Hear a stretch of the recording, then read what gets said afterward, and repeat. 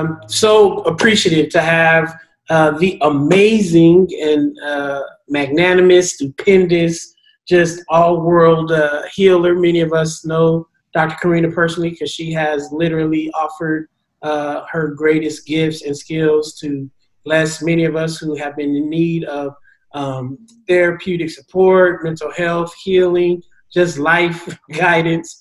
Um, and so when we wanted to include a part of our service to just have some healing and therapeutic support, knowing that we all have been dealing with so much very recently. And uh, this is, even on Pentecost Sunday, the uh, last day of mental uh, health awareness um, and domestic violence awareness, all these different kinds of awareness. We thought it'd be great uh, to include uh, Dr. Karena. So, welcome, Doc. Thank you for joining us on uh, this morning. Thank you for having me. Yes. I appreciate the call. Oh, yeah. Oh, yeah. So, um, you know, as we uh, have decided to put a healing component and conversation into our uh, liturgical and worship experience for our virtual church service this morning. Um, I just want you to speak to this moment we're in. I know myself, uh, I had to really spend uh, the day in bed uh, processing and and and mourning and weeping the trauma that was uninvited, uh, that came rushing uh, right back into my mind, my heart, my body um, mm-hmm. Monday and Tuesday uh, after I watched the, uh, the, the killing and the lynching of uh, Brother George Floyd, and and and I know that trauma is compounded. Uh, the with these last few days have been tough. Watching um, the, the, the the uprisings all across the country. Uh, certainly, these last few weeks have been tough with the uh, multiple uh, events of slayings that have been happening. Of course, the, the, these last few months have been tough. So there's just compounded trauma, lots of it uninvited, uh, that has overtaken us. What would you say um, to this moment we're in? And we'll love to just hear some of your quick thoughts on, um, you know, your read on this this this season. Yeah, thank you for saying that, and again, thanks for the invitation to join you virtually. And this has been an exceedingly tumultuous time. Um, I think that as as people who are living here in community, as Black and Brown people, as folks who are allies and co-conspirators, that the, the that these have taken on us individually and collectively has been devastating. Mm. Um, of course, under the condition of sheltering in place, when many uh, folks in our communities are already struggling we're also already feeling the distance and the like the tenuousness of relationship and community to then have these additional uninvited traumas as you say come in has been uh, unlike anything that i think i have known in my lifetime i was talking with my son earlier today who's 14 and a young black man and really wondering how how this will shape him and that we're in this living in this big question mark right now. There are a lot of things that i think we know through our lineage. We know through generations the impact of harm the impact of trauma and then it's another thing to be living through it with so much unknown about what what will be happening next week what will be happening next year it's a really it's a really trying time? Yeah, I mean, as someone who, um, you know, I call myself a bootleg counselor because, you know, a BA and did have a degree in drug and alcohol counseling. And so, you know, I've done the addiction studies and done some, some therapeutic work, but you are professional and you know how our bodies work, you know, how the brain chemistry and all these hormones and endorphins and all these things. Can you just explain what stress is doing to us, like just functionally, what what is happening in our body that is kind of contributing to some of us having huge mood swings, some of us are, you know, experiencing this this trauma in lots of different ways. And unfortunately, in church, sometimes we make it an issue about our faith when sometimes it's just about our physiology. It's it's just about our ability right. to engage in certain practices that that help us mitigate some of the the ways stress and trauma is impacting us. Can you just say a bit about that physiological component, but also then um, how should we and what should we do when we feel pain and anger and sadness? Um, just what, what, what would you say? Riff on a few of those things. Yeah. Well, I guess the first thing that comes to my mind is that there's a, an amazing researcher on trauma, Bessel van der Kolk, who has spoken and written extensively about trauma.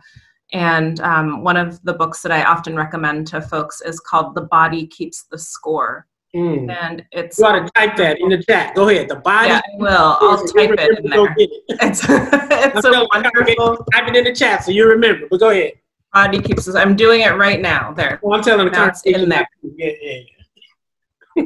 and it's um I would have it in there too for folks. It's um it does a really clear clear explanation of what trauma is and how it resides in our bodies, even when we no longer can consciously recall it in our mind. Mm. And so he describes trauma as when something happens and the body is unable to reset itself. Mm.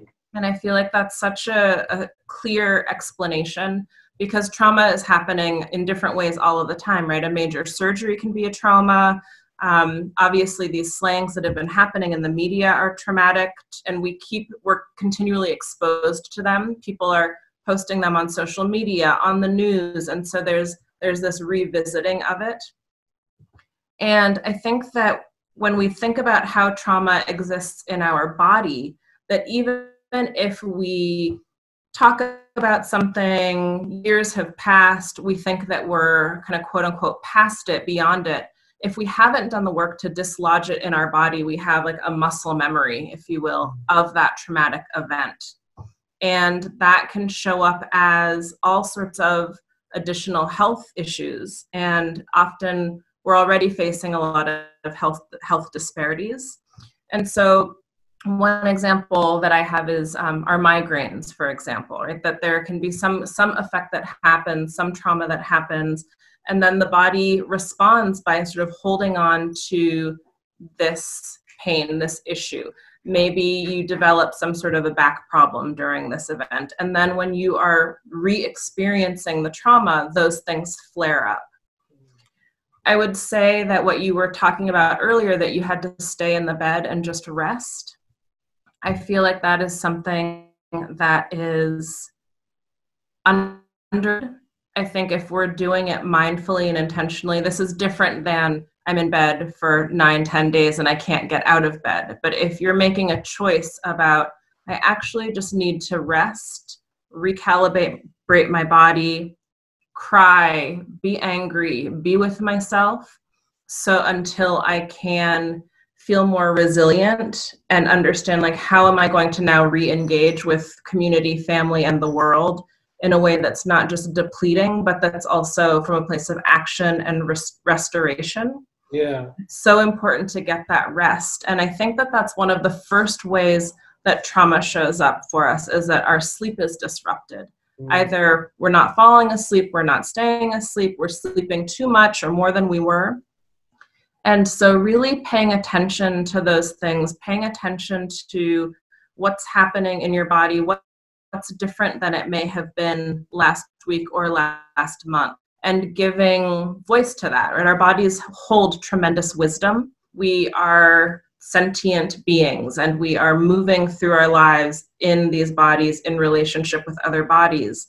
And that gives us so much information that we often sort of cut off from the neck down and we live in a world often from the neck up that's very intellectual and conversational and thought oriented if we stop and pause and check in with ourselves and that can happen in any number of ways there's often a lot of information there that can support us in moving through whatever it is that we're experiencing yeah yeah, I, I appreciate that. I, I um, want to encourage all of us as we're just hearing this to um, to to check in a little bit with yourself. A lot of us this whole week have been um, dealing with trauma, and we, you wouldn't call it trauma, maybe, maybe you do, maybe you don't. Um, you call it anger. Some you call it fears. Some you call it pain. but a synonym for all of those words is trauma. And so I think all of us as a congregation just need to appreciate that our kids are experiencing trauma about this, not just the yes. trauma of this recent lynching, as I call it, but also the trauma mm-hmm. of coronavirus, of sheltering in place, of having to be uh, inside the home nonstop, not at school with their friends. It's a trauma, and and so I do think if uh, we take Doc's point seriously, which I do, that the body keeps a score, um, then mm-hmm. we all mm-hmm. need to be listening to our body about what score, what's the score of this game, right? Absolutely. And and, and be tuned into that.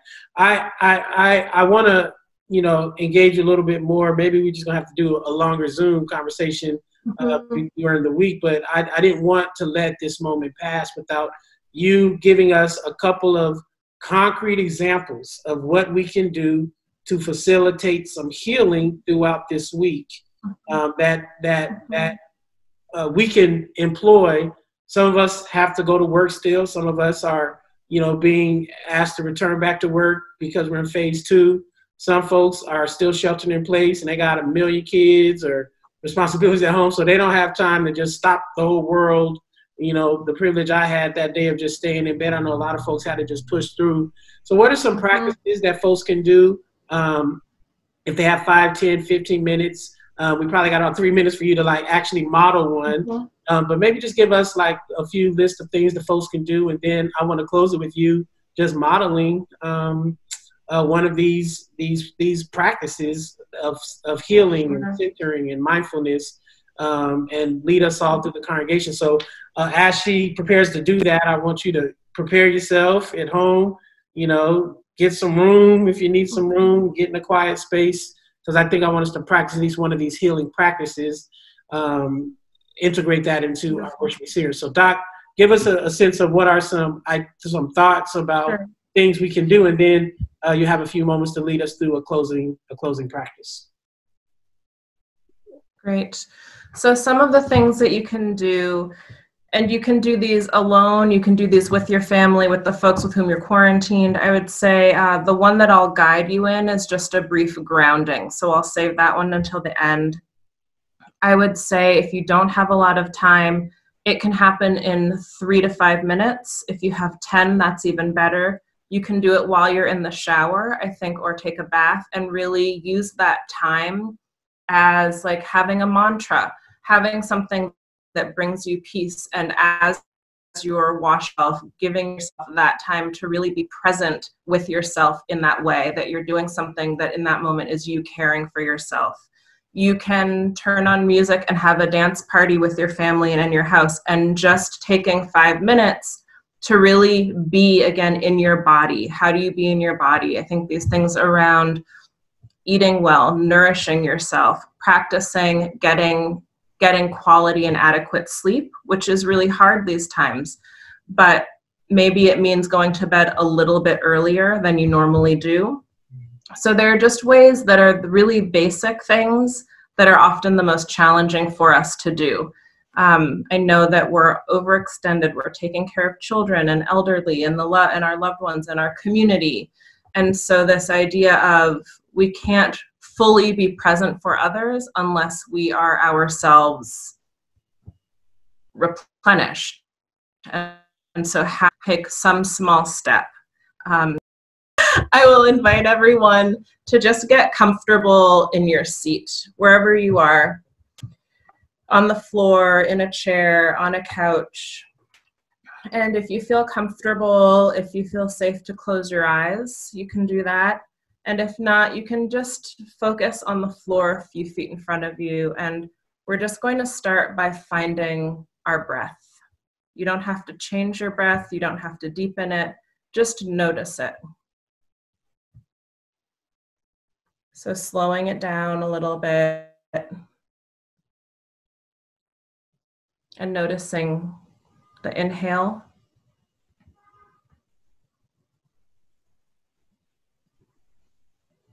and the exhale.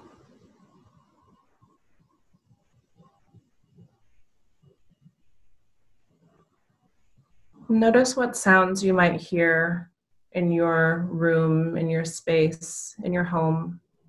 And just noticing those sounds as being sounds that help create the space that you're in. Notice whether there are any thoughts coming through your mind without judging them as good or as bad.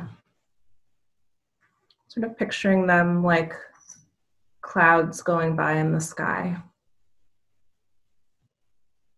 Notice what's happening in your body as you slow down, as you give yourself the gift of presence for a few moments. There might be some tightness. There might be spaciousness. Your heart might be pounding.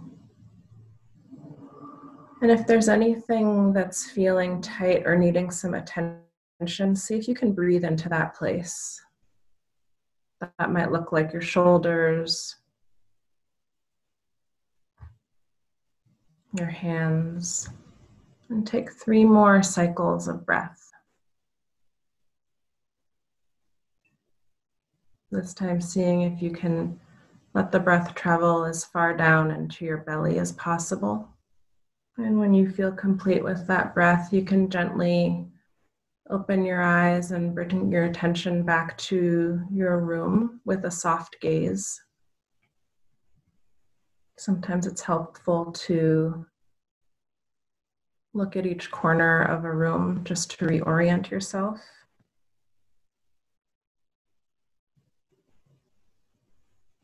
And notice how your body feels now after having just a few minutes of time. The great Karena, doctor mm-hmm. Karena Montag. Thank mm-hmm. you, thank you, thank you so much. Thank you so much. let's appreciate everybody just in the chat. Just say thank you to Dr. Karena, and um, we are gonna bring her back and have uh, maybe a, an extended opportunity to pick her brain and um, let her lead some of us through some group therapeutic uh, practices um, that can help us get through this season. But thank you for joining us this morning, and um, we certainly love you so much. For sure. All right. I love you guys too. Thank you so much.